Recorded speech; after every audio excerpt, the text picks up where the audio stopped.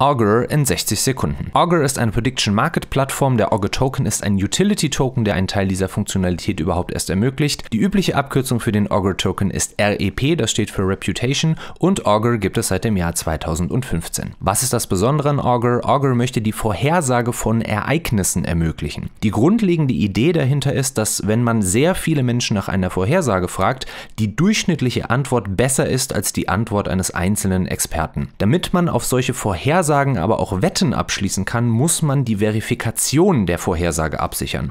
Also man muss sicherstellen, dass jemand wahrheitsgemäß berichtet, ob diese Vorhersage eingetroffen ist oder nicht. Und hier kommt der REP-Token ins Spiel. Wer eine Vorhersage verifizieren will, muss den REP-Token als Sicherheit einsetzen und verliert diesen, falls seine Angabe der Mehrheit widerspricht. Die technischen Daten beziehen sich jetzt auch auf diesen Token. Von REP gibt es insgesamt 11 Millionen Stück. Da dieser Token auf der Ethereum-Blockchain basiert, sind Blockzeit und Hashing-Algorithmus identisch zum Ethereum-Netzwerk. Weitere Informationen findet ihr auf der offiziellen Webseite oder bei Twitter und Reddit. Das war Augur in 60 Sekunden. Für weitere Videos abonniert gerne den Kanal, lasst mir einen Daumen da, wenn euch das Video gefallen hat und schreibt mir unten in die Kommentare, wie ihr Augur als System findet. Ich habe ja so ein bisschen ein Problem äh, mit der Art, wie hier Wahrheit definiert wird. Da bin ich einfach mal sehr gespannt, was ihr dazu unten in die Kommentare schreibt. Bis dahin, eine gute Zeit und ciao.